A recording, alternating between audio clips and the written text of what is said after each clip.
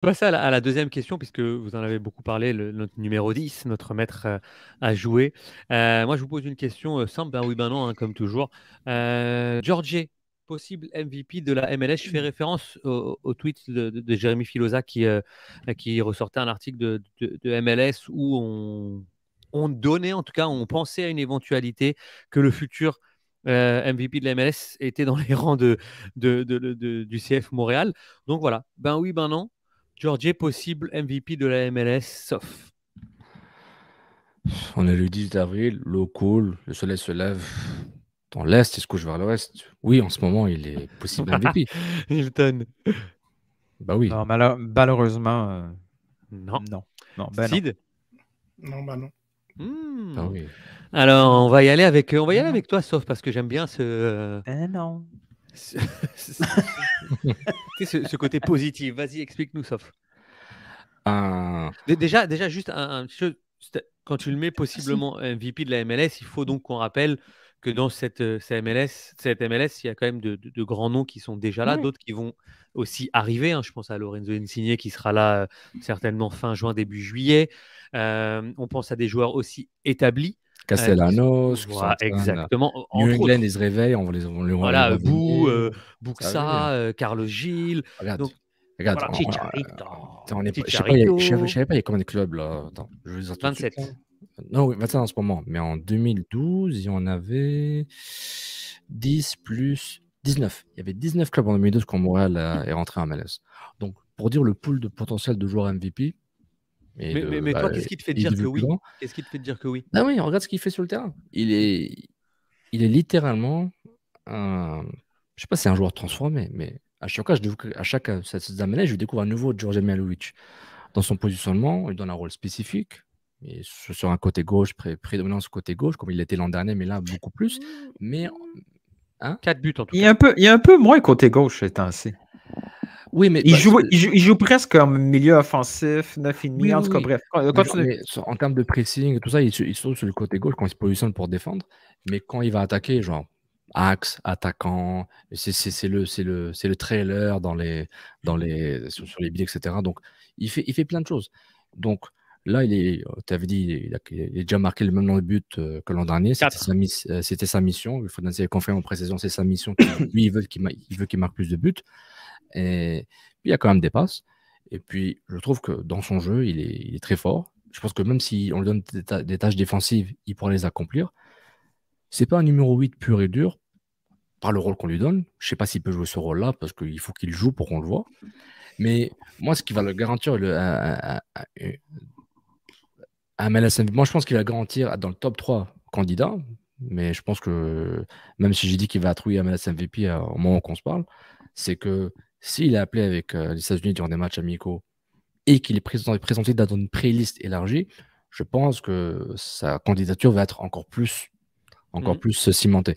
Mais il n'y a aucune garantie. Encore une fois, il- Mialovic, il a un rôle. il a- il- le Mialovic que nous on voit, il est très différent et très, perçu très, différent, très différemment par les, les, ce que les experts US National Team, euh, du moins où est-ce qu'ils le voient dans l'équipe et pourquoi il n'est pas dans l'équipe nationale? Parce qu'il y a, un, rôle très spécifique, puis il y a déjà beaucoup, de- monde au poste il, où, il peut rejouer. Mais dans ce qu'il fait, c'est fascinant. Je te garantis, je te garantis, il joue à Seattle, il joue à Salt Lake. Là, on en parle, mais je te garantis, c'est en termes de couverture, c'est dix fois plus. Il y aura déjà une entrevue, c'est donne avec euh, CNN, SI, il y aura une entrevue ESPN, je sais pas quoi. C'est Ouais, mais la question, c'est pas va-t-il- pourrait-il être MVP avec une autre équipe comme Montréal? là? Là, cette saison euh, MVP. là. Justement, Nilton, tu, tu, tu hochais quand même la tête de, façon impossible. positive à ce que disait Sofiane, mais Oui, mais c'est impossible que. Tout ce qu'il dit, c'est c'est 100% valide. juste parce qu'il joue à Montréal. Mais c'est totalement insuffisant.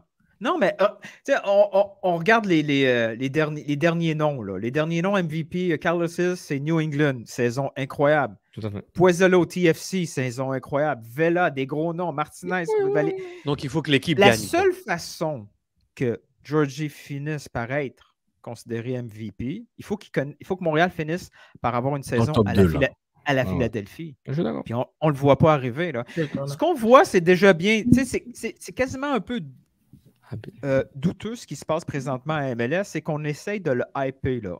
Un an plus tard, on essaye de hyper Mialovic parce que c'est aussi dans l'intérêt de Mialovic et de la MLS. Je veux dire, c'est aussi dans l'intérêt de la MLS que Mialovic, quand il va sortir de la MLS, il sort avec les gros sous. Il faut une autre belle histoire associée à Mialovic. Donc, c'est sûr que les médias maison MLS commencent à, préparer ce terrain-là. Mais c'est insuffisant. Il y a trop de gros noms, il y a trop de grosses concessions. Tu vois vraiment donner un MVP à une concession qui ne va pas super bien, qui est en rebrand encore une autre fois avec un stat.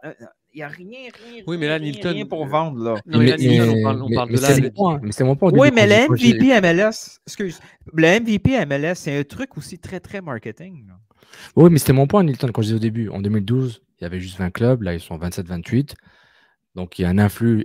juste LFC, Orlando, Atlanta, ils te, ramènent genre deux MVP par, euh, par club potentiel par année. Là. Donc, c'est inégal. C'est genre, littéralement, il faudrait faire un MVP étranger et un MVP genre euh, local. Quasiment pour qu'il y ait une certaine euh, une justesse, entre guillemets, mais pas entre guillemets. Mais, mais, j'exagère. Je suis d'accord avec, tes points. Je suis d'accord. Tes arguments sont bons si Montréal ne finit pas dans le top 2 avec un Super Shield, une course pour le Super Shield, etc. Mmh. Oui, mais personnellement, c'est marketing surtout. S'il ne gagne pas, c'est surtout du marketing. En termes de football, s'il fait une saison similaire à ce qu'il fait l'an dernier, c'est un des meilleurs joueurs de la ligue. Et sans lui, l'équipe est nulle. Bah, pas nulle. Euh, l'équipe, vraiment, elle, elle, est en chute. Ah, t'as pas besoin de trouver un autre mot, là. Avec lui, avec lui, ils, ont, ils ont donné une raclée, entre guillemets, à, aux Red Bulls. Ils, ont dit, OK, ah, vous voulez jouer ce jeu? Nous, on va, jouer, on va aussi jouer ce, ce jeu. Donc, j'y crois un peu. J'y crois. Mais si de la, toi, non, non, pas du tout. Désaccord, ouais, vraiment, en ça désaccord. Parce que je pense que malheureusement, là, c'est comme si on fait un, faux procès à la MLS, on en parle de marketing. Tous les derniers MVP sont d'équipes qui sont sportivement et vraiment, nonobstant leur, euh, le, nom de l'équipe, ils sont sportivement des équipes ultra dominantes sur la saison en question. Donc, c'est pour ça que je ne comprends pas. Euh, peut-être que, peut dans les candidats, à la rigueur, il y a une prime à, être dans une grosse euh, concession. Mais là, sinon, j'ai l'impression qu'on fait un faux procès. On, est, on, parle, quand on parle de Jovinko, de, justement de, Martinez, de, de Vela, de, Carlos Gil, on parle à chaque fois. Tu, tu vois le nom à côté, tu as l'équipe. Et l'équipe, elle est Supporter Shield, top 2, top 3, mais d'une grosse saison sportive. Et c'est pour ça que on est. Regardez d'abord la saison du joueur, euh, pardon, de, l'équipe. Et dans ces équipes-là, il y aura le MVP. Pour ne pas être dans cette catégorie-là, il faut. Euh, on parle de. Comme, mais, enfin, Zlatan n'a pas eu le MVP. Et on parle de quelqu'un qui, à un moment donné, comme, qui a, vraiment tout cassé sur une saison. Donc, comme pour ne pas être dans cette bonne chance. Je veux dire, comme, euh, je veux dire, comme il y a des saisons de, Piatti qui sont des saisons d'un point de vue MVP, mais tu n'es pas dans une équipe qui sportivement a eu du succès. La, MLS, dans sa façon de fonctionner actuellement, et tout à fait pour moi, c'est encore très cohérent, va récompenser l'un des meilleurs joueurs d'une meilleure équipe. Mais, mais juste y a pas pour remettre dans le contexte, c'est. moi, je, suis je, suis en plein dans le contexte. Hein. Je sais pas si. Non, non, non, mais le, MVP, le, MVP, est donné sur la saison régulière ou ça compte aussi les playoffs? La saison régulière. Ah, ok saison régulière uniquement. Donc, c'est vraiment, on, est on est c'est parmi les meilleurs joueurs des meilleures équipes. Donc, s'il y a deux équations, l'équation meilleur euh, parmi les meilleurs joueurs, très bien, même si je suis en désaccord avec Sofiane sur l'idée qu'il n'y a pas Mialovic contre New York, Red Bull, euh, enfin, je veux dire, l'équipe est nulle. Moi, je suis pas dans, ce, dans, dans ça. Je, je, je, le vois pas. Je trouve qu'il est, en ce moment, ce qui est intéressant, c'est que je trouve qu'il est décisif, Mihailovic, euh, et c'est très bien d'être décisif, c'est la chose la plus importante dans, dans, le football, mais je ne lui donne pas forcément cette, cette, cette importance dans le, dans, dans, dans le jeu euh, qu'on lui prête. Je trouve que même l'an dernier, je trouvais plus important dans, dans le jeu. Cette année, ce qu'il a en plus de ça, c'est décisif euh, par, la, par, par, par, le tir et par la, par la, par la passe. Mais bon, ce n'est pas, pas vraiment très, très problématique. C'est un, un joueur euh, un, c'est un, joueur qui fait des différences, ça c'est très bien. Maintenant, est-ce que son équipe est parmi les meilleures équipes de la ligue? Tant qu'il n'y a pas cette, ce paramètre-là, oublie, oublie. C'était les mêmes arguments par, lorsque Wilfried Nancy euh, était dans une discussion des meilleurs coachs de la ligue. Oubliez ça. Tu peux pas être dans, dans, cette, dans, cette, dans la MLS, comment elle fonctionne aujourd'hui, tu ne peux pas être euh, mis de l'avant si ton équipe n'est pas parmi les meilleurs. C'est comme ça qu'il fonctionne. On n'a pas ce fameux. Euh, euh, parce que Sofiane intéresse. dans les sports US, il y a différentes façon de voir le MVP et le fameux V, valuable, ben parfois tu peux être justement ce joueur-là qui est ultra fort dans une équipe qui serait rien sans toi. Effectivement, tu es le, la personne qui est la, la plus valuable de, de, de, de, la ligue. La MLS, c'est pas comme ça qu'elle fonctionne pour l'instant. C'est vraiment, regarde les meilleures équipes, on, va prendre l'un des meilleurs joueurs dans ces meilleures équipes. Et pour l'instant, la discussion, elle est vraiment prématurée euh, pour, ce, pour, cela. Maintenant, le hype, comme, euh, euh, comme le fait Johnston en conférence de presse, c'est vraiment, vraiment cool. C'est bien pour, lui.